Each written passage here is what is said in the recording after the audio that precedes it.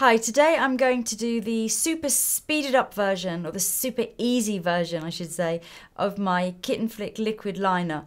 And this is something that I'll do if, for some reason, it does happen occasionally, I only end up with 15 minutes to do a client's makeup.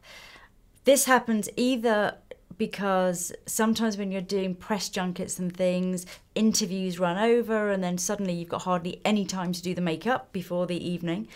Or sometimes people are delayed in traffic and they get there really late and by the time the hair's done you've got no time left.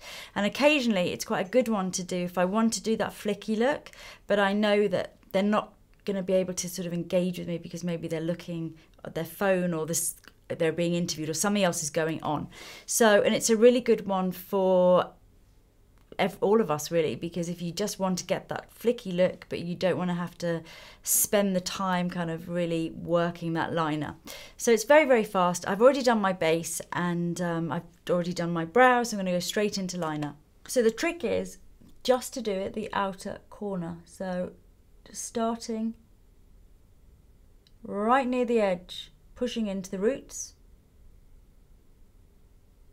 and wing out how far you wing out will really depend on the shape of your eye. So you'll have to check in a second. If you're hooded, you're going to have to wing out a little bit more. And then underneath, you just fill in that corner. And the reason this is quick is because you don't have to be too fussy about how you do it. You can be quite um, speedy.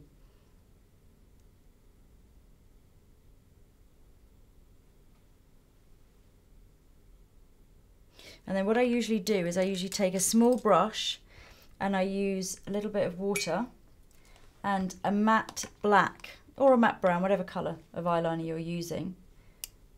And then you just go back over the top.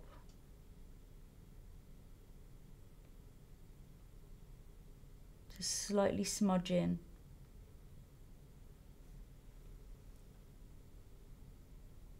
While it's still a little bit wet.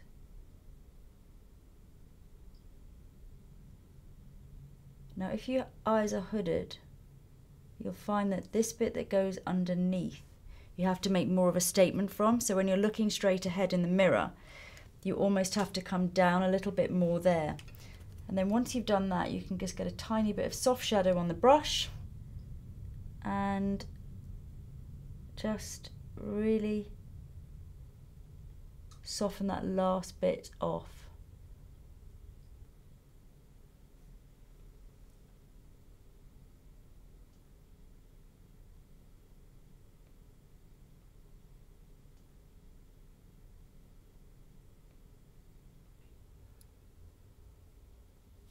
Just like that and you'll see when I've done my what I'll do now is I'll give my lashes a really good curl and put plenty of mascara on top. This is a great one if you're really not good at doing the liner all the way from the inner corner. It's also good if your eyes are close together because by having all of the emphasis literally on the outside it really you know gives your eyes that wide space look. So I'm just putting plenty of mascara on.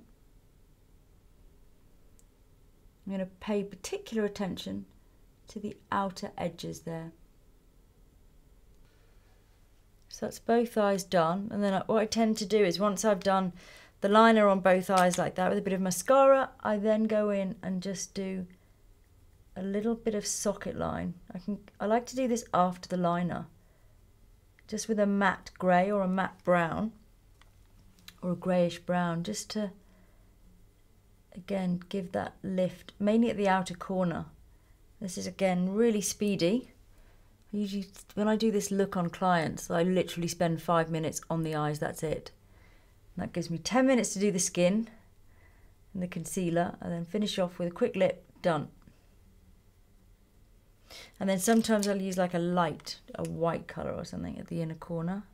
This again is a matte. And then I go just add a bit more socket.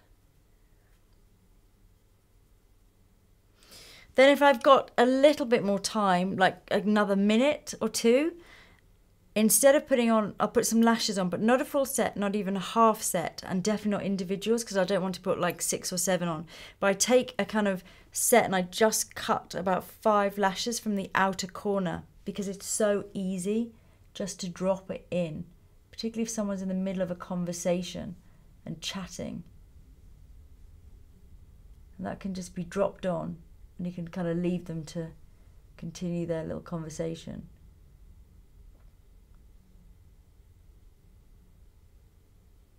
And that just again kind of emphasizes that shape. So I've just finished off with a little touch of blush and that's a really nice quick look, but you still get that very flirty, you know, you definitely get that lovely kitten shape eye. And it's i think it's really good for lots of reasons. It's great if you're not good at doing the full line from the inner corner right the way across because for some reason i don't know you never get them even or you find you have to spend too long. It's fantastic if you haven't got a lot of time great on hooded eyes because all of the focus is just on this outer edge and really coming underneath as well. It's great if your eyes are close together because you get a really sort of spaced out look in the eyes. And also, it's good if your eyes are very round and you're trying to make them look more almond shaped. So, by focusing just on the outer edge, it's really good for that as well. And also, good if you're doing someone's makeup that for some reason they can't keep still or they're doing other things while you're trying to do their makeup. That happens to me a lot. And I always say when they ask me, Oh, can I do this while you're doing my makeup, particularly from doing liner? Don't worry, I'm an expert doing makeup on a moving target. So, it's really good for that sort of thing as well. So, I hope you like the look. Try it, it's so easy, I promise promise you. And um, I'll see you soon.